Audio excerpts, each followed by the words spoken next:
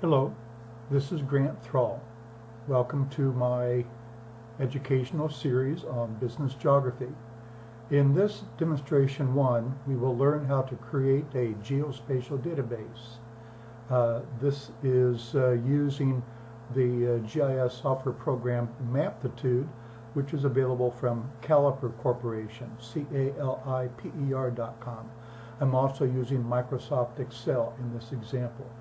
First, we open up a spreadsheet. Data is available. 80% of all data is considered to be geospatial.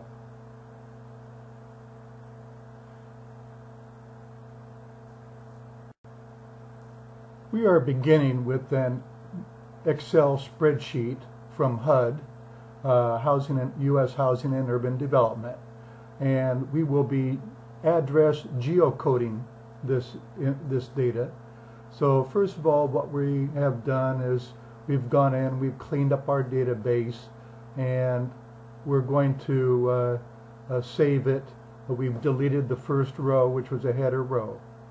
Now go into part two of four parts, uh, where after having deleted the header row so that we don't confuse uh, the uh, software that's going to read the uh, database, we're going to rename the fields to be a standardized with the address being street and then city. We'll fill in a state and then zip.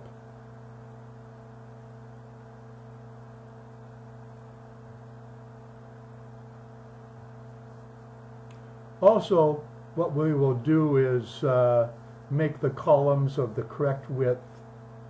Here we're adding in the, uh, we're going to add in the uh, state field since that was not present in the original HUD database.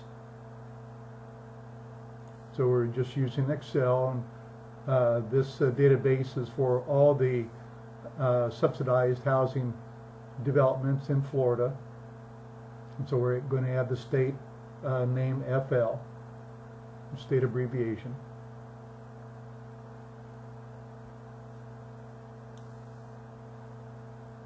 And save the result. Now we go into part three. and we bring our Excel database into Maptitude. Maptitude has a variety of databases that it can add from Esri shape files to uh, mapinfo tab files and here we're just adding up adding the uh, Excel database and we scroll through it and see verify yes indeed that is the database that uh, I want to uh, address match geocode.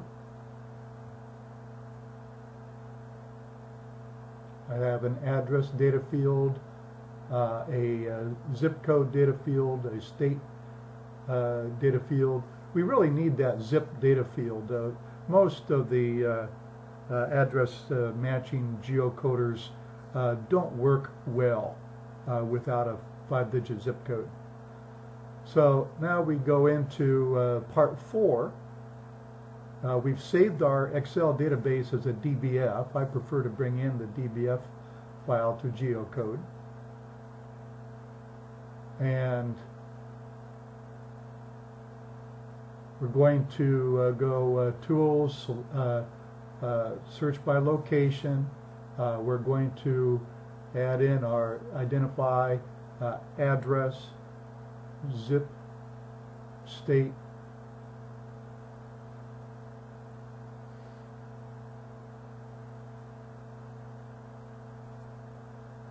select OK, and then we could uh, overwrite an old database or uh, which saves space or uh, add in a new name. And this is going to be our geospatial database layer and there it is and we have had a pretty good success rate but we'll need to go through our data and see which ones did not geocode. We're all going to be looking at Alachua County in this example.